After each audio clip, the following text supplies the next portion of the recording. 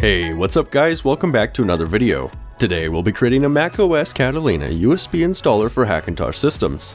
This video is for educational purposes only. First, we need to download the macOS Catalina installer app.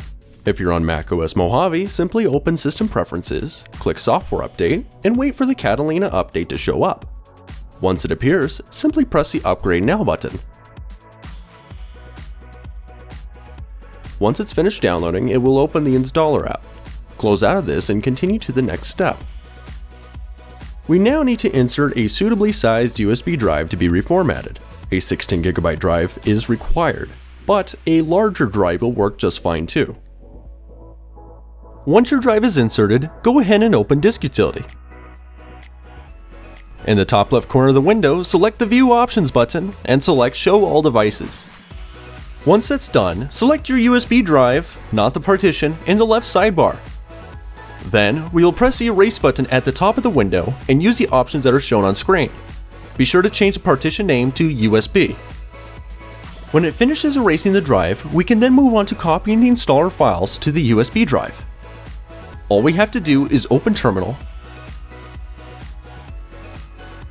and paste in the command found in the description below. Press enter Type in your password, followed by pressing enter again, and let it copy the files to your USB drive. Once this is done, we can then move on to installing the Clover bootloader.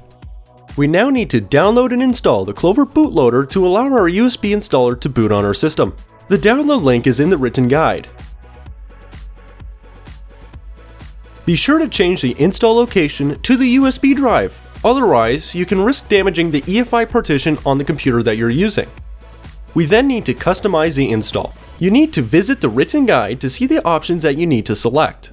A link to this written guide can be found in the description below. I do this because the options change over time, and I can update it on the guide whenever that may happen. Once it's finished installing, we then need to download and install the Kekstar system requires into the EFI partition. You are required to either have fakesmc.kext or virtualsmc.kext installed. My system also needs USB inject and Atheros E2200 Ethernet.kext. Your system most likely requires different kexts. These kext and more can be found on the Mark with Tech website. Now it's time to boot the system. We need to get into the boot menu of the system in order to boot to the USB installer drive. Many BIOS show the key to press on the post screen. If not, refer to your motherboard's manual for the correct key to press while booting. Once you're in the boot menu, select the UEFI version of the USB installer drive. When you're in Clover, press the letter O on your keyboard to get into the options menu. Then, press the enter key on the boot args line and type hyphen lilu beta all. Then press the enter key again, then press the return button at the bottom of the list. Hover over the macOS Catalina entry and press the Enter key on your keyboard. Now we're booting macOS Catalina. Thanks for watching the video. Be sure to subscribe for other Hackintosh related content. Enjoy your Hackintosh system.